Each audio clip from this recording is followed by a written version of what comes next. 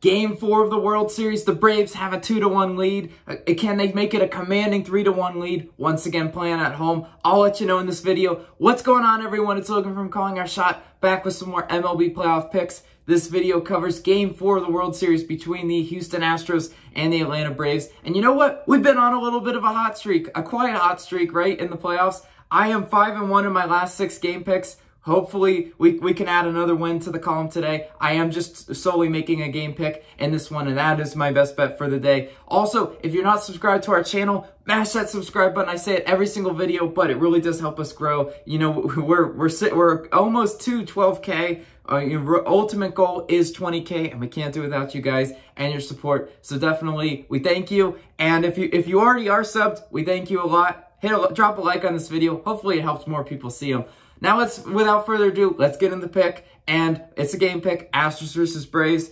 And I'm taking Braves money line minus 110 odds on FanDuel. I expect the odds to probably change throughout the day because at the time I'm recording this video, I don't have a starting pitcher for the Braves. That's okay. I've seen enough from the Braves that, that I can pick them even without a starting pitcher. And you know what? Their bullpen, it, it carried them to a victory la last night. Ian Anderson pitched an absolute masterpiece, and they, they took it the rest of the way. They The Atlanta Braves pitching combined for a two-hitter versus Houston last night. If you told me the, the Astros and their very talented offense was going to get two hit versus the Braves, I'd say you're crazy. Well, they just did. And it, it was extremely impressive. Atlanta, once again, playing at home. That's why whoever they trot out there, I'm confident that they can just not go out and, and self-destruct.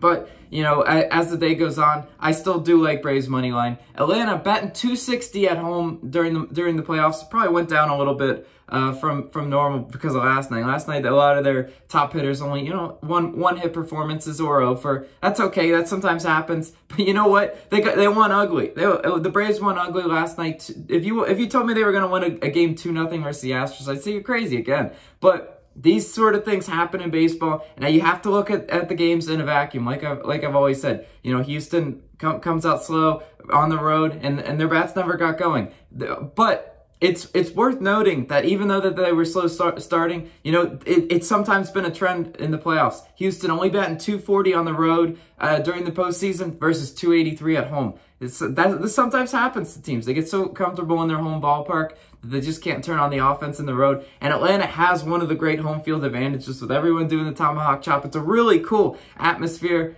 And you know what? Zack Greinke is going to be a victim of that atmosphere tonight. Zack Greinke is, is slated to pitch for the Astros. 7.7 postseason ERA. That's high. That's high. And there will be some run opportunities for the Braves to get up on him. And you know what? Greinke hasn't always shown control. 257, uh, well, 2.57 whip in the playoffs, you know, this this year. So, I mean, if a whip above two is is definitely important in that walk a lot of people, get get some hits up on them. And the Braves offense all postseason has been extremely impressive at, at you know drawing walks, getting those hits, getting those clutch hits. That's what the Braves do.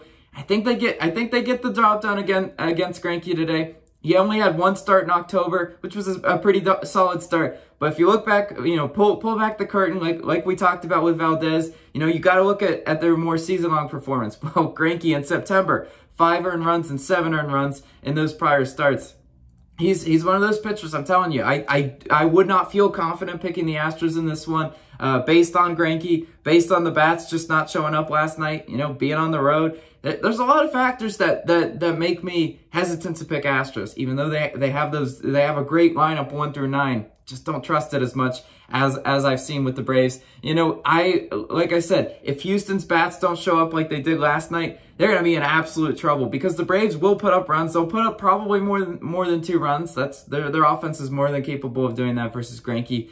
And I, I I'm once again rolling with the Braves money line in this one. Let's make it six and one in our last seven. You know, we're five and one in our last six game picks. And you know, I'm I'm predicting the Braves take that commanding 3 to 1 lead. As always, let me know your favorite plays of the day down below. I love to hear what you guys are playing. Also, go check out my college football video, which is posted for our Saturday slate of action. Austin's got you covered for Sunday. This has been Logan, and I'll catch you in the next one.